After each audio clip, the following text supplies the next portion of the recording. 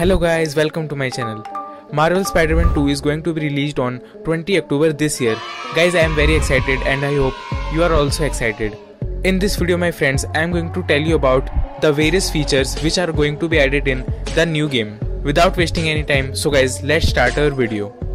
Number 1 now guys talking about the number one, the spider wings or web wings are going to be attached with the Spider-Man suit. Now the player can roam the whole map with greater speed and guys there are various side quests which are attached to them to increase their flight skills. Guys there are two major villains which are going to be added in the game which are Venom and Kraven.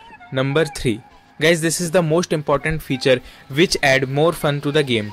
So guys in this feature the player can access both the Spider-Man in the same game which are Peter Parker and Miles Morales. And guys, there are various suits which are also going to be added in the Bye, game. Now, the player can access both the characters at a time. Guys, the recent trailer reveals that if we are doing any side mission, the another Spider-Man could help us in fighting the enemies. Number 4 Guys in Marvel Spider-Man 2 the map is going to be very big and guys there are various sites which going to be make the map more alive than before.